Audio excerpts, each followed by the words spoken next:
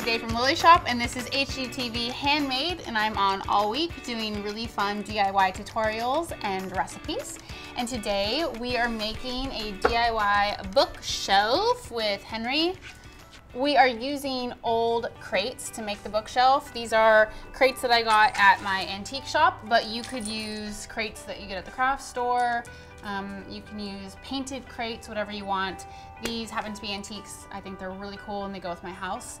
So I'm going to show you how to stack them up and add casters and make them into a bookshelf. What you're going to need is four crates. So these are about 24 inches wide.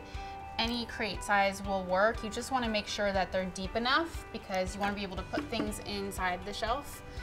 And you're going to need casters. These are two inch swiveling casters. I got two with locks and two without.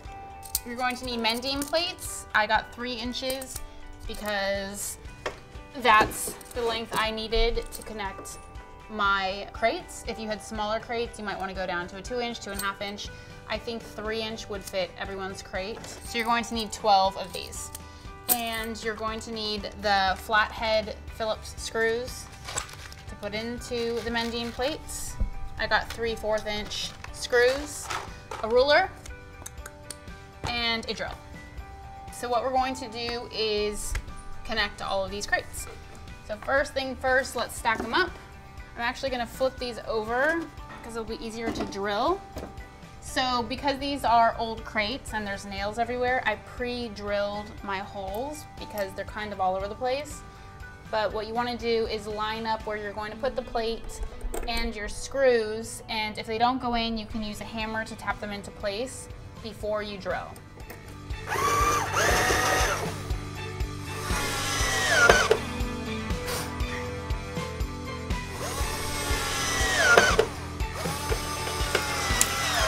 All right, I have two stacked and now I'm going to add a third. If you wanted to leave it only two high, you could make a nightstand, you could make a smaller bookshelf, you could, you know, play around with the different sizes. I'm gonna make mine four shelves high.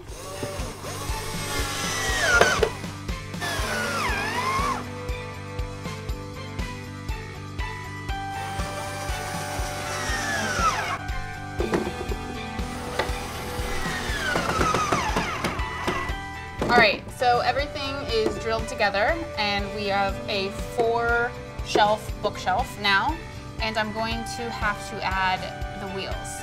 I'm going to add them to the bottom so the writing is going downwards.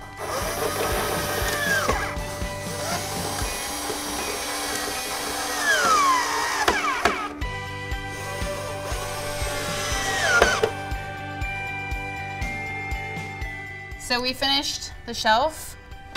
Took about 25, 30 minutes in real unedited time, just so you all know. And I'm going to flip this over.